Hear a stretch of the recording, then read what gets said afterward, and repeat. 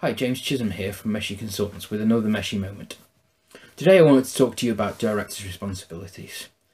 As director of a limited company in the UK, you have responsibilities that you have to fulfill. Some of these uh, come along the lines of things that you need to file with HMRC and Companies House, and quite often the things that people don't realise that they have to do. So if you are a director of a company, make sure you know what your responsibilities are. Companies House have fines that range into the hundreds of pounds quite quickly for things like confirmation statements, which are really easy for your accountant to do um, and only cost about £13 a year.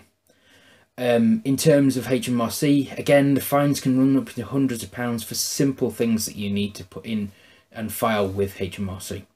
So if you are a director of a company, make sure you know what your responsibilities are.